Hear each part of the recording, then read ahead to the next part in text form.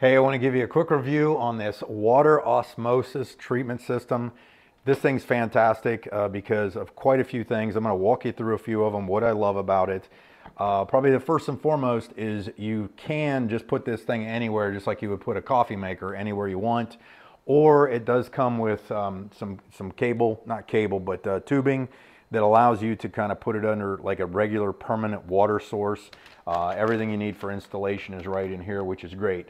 So I have it to where I can move it around. So I might put it on one counter or another, uh, might move it to a different room, that kind of thing. So I have just set up. Now, um, there really wasn't a lot to this to get it really up and running, but let me just kind of show you this.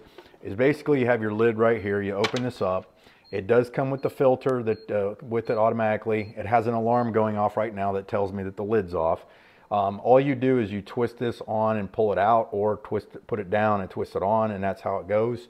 This is your water reservoir. Now with the water reservoir, this is something that you just have a handle here and I can fully remove it. So I could take this completely off, fill it up with the, you know, sink water if I wanted to, and put it in here. And one of the better things about an osmosis water filter filtration system is the fact that it will pull just about anything out of uh, your water. That's what makes them makes them special. Now, once I have it set, this is actually a touch control pan panel right here. I basically touch that and you're gonna see right now, this is my room temperature.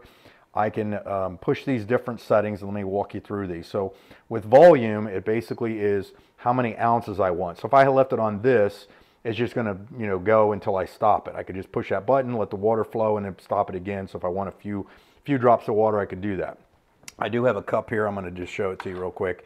Um, but let's say I have a six ounce cup, eight, and I just go through those settings right there and you can see what that goes. So I'm gonna do just six ounce. Let's do, uh, we're gonna do six ounces right here. And then I can do the temp.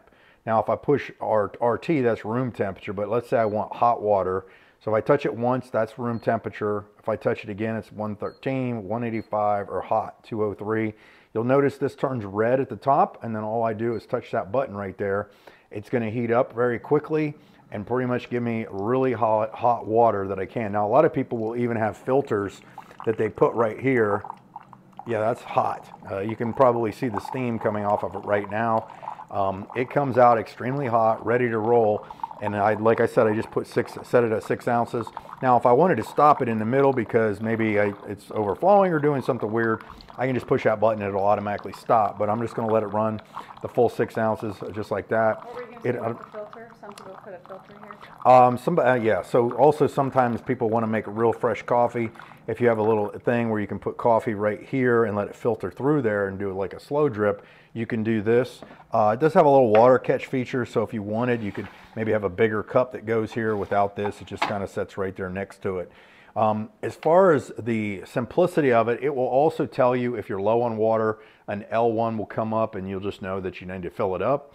When you first start it, it gives you directions. Uh, obviously it comes with directions, real simple to use. What you're gonna do is you're just gonna do it and run through the water a couple times. So if I click this button, it gives me all the highlights. And then what I'll do is I'll push and hold that button it'll give me a uh, blinking HH and then I push it, it'll drain some water out. For the first couple times, you wanna kind of circulate the water through. Once I've done that, it's good to go. It does give you suggestions in here uh, about when you should maybe, you know, change your filter, things like that. But one filter is going to last you a lot of time, a long time.